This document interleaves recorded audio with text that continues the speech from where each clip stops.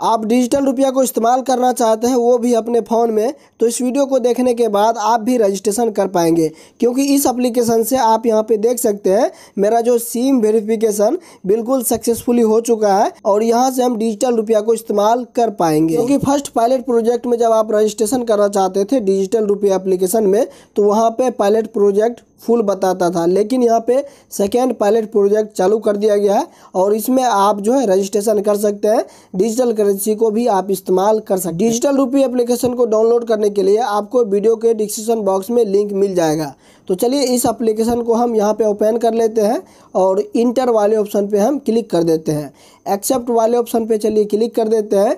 इसके बाद यहाँ पे नेक्स्ट वाले बटन पे क्लिक करेंगे। तो यहाँ पे जो है स्टार्ट रजिस्ट्रेशन का एक ऑप्शन खुलेगा तो यहाँ पे आप क्लिक कर देंगे। उसके बाद यहाँ पे सिम सेलेक्ट करेंगे, उसके बाद वेरीफाई सिम पे आप क्लिक कर देंगे।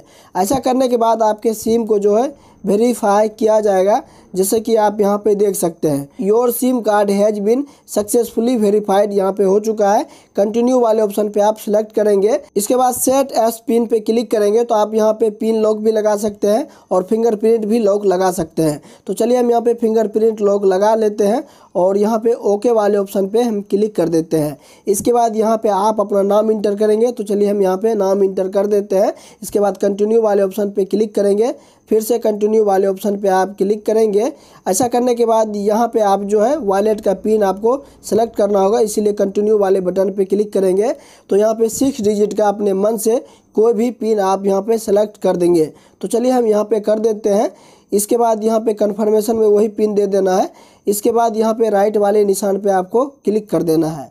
ऐसा करने के बाद यहाँ पे वॉलेट का पिन आपका बन जाएगा सक्सेसफुली हो जाएगा। इसके बाद कंटिन्यू वाले ऑप्शन पे आप क्लिक करेंगे। पास I D F C first bank bank account पे आप क्लिक करेंगे।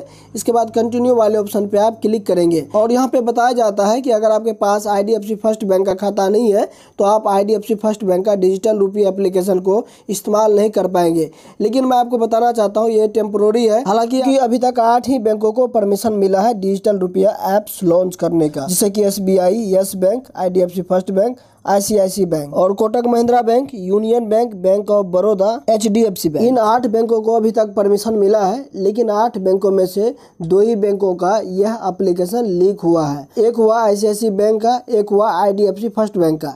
एसबीआई का लॉन्च हुआ है, लेकिन वो अभी गोपनीय रखा गया है बैंक की तरफ़ से। तो जैसे ही कोई भी छोटी बड़ी इन्फॉर्मेशन आएगा डिजिटल रुपये से रिलेटेड मैं आपको बताता रहूँगा। और भी बैंकों के द्वारा मुझे जानकारी मिलता है तो मैं आपको ज़रूर बताऊँगा। तब तक के लिए वीडियो को लाइक कर दीजिए और चैनल पे नए तो सब्सक्राइब करके बेल आइकन को दबा दीजिए और टेलीग्राम को ज्वाइन ज़रूर कर लीजिए, क्योंकि पहले हम टेलीग्राम चैनल पे ही अपडेट दे देते हैं।